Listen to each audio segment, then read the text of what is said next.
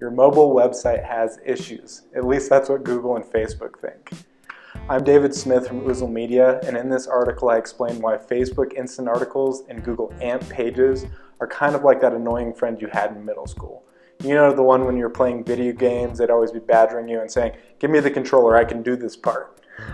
But seriously, there are, there are a few new developments on the platforms that now make them a lot more relevant to people and businesses, whereas before they were mostly just relevant to big publishers. Um, if you're interested in learning more, go ahead and click on the link in the descriptions and let me know what you think in the comments.